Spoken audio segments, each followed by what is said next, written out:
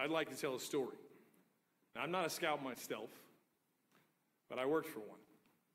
A guy named Secretary of Defense Robert M. Gates, himself an Eagle Scout, president of the Boy Scouts of America, board of directors, Boy Scouts of America. He had a wooden eagle by his desk in the Pentagon. It was foundational to who he was as a person. 40 years of service to his country, United States Air Force, entry level employee to become Director of Central Intelligence, Deputy National Security Advisor, Secretary of Defense to two different presidents, Medal of Freedom. You can't make a resume up like that, right? And it was foundational to him as a person. So much so that in 2010, the Boy Scout Jamboree was at then Fort AP Hill, now Fort Walker, Virginia, is about an hour and a half south from here. And they had the Boy Scout Jamboree there. It was a typical Tuesday morning in the Pentagon, and we go through the daily brief. And, sir, you're going to have this one meeting with Chairman Joint Chiefs, then you can head down the stairs, get on the helicopter, go knock out the speech, get back. We got two meetings, and you go to the Pentagon. We're going through all the wickets. And all of a sudden, we look out the window and we see not two helicopters, which is his normal package, four land.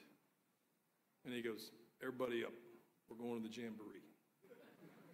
And I was like, you know, I was young Turk. I thought I was a big dog. I said, Sir, I'm busy. I got things to do. And he said, Get your jacket and get yourself down the stairs and get on that helicopter. Now, I, didn't, I wasn't in scouting. I grew up in the city. You know, it's like, Sir, we're busy. we got two wars going on. And you know, I was just complaining the whole way. And he says, Get on. So we go down, we fly down. And there's over 50,000 people at the Jamboree. The most people they had in attendance since 1973. Harsh reminder of my birth year. And looking in this sea of people.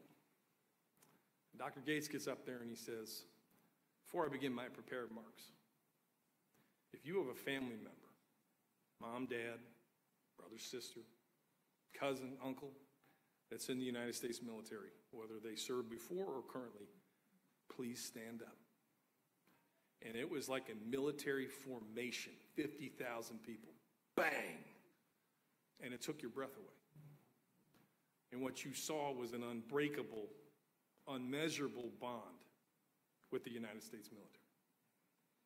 Especially for somebody like me that had no appreciation for this amazing, iconic American institution.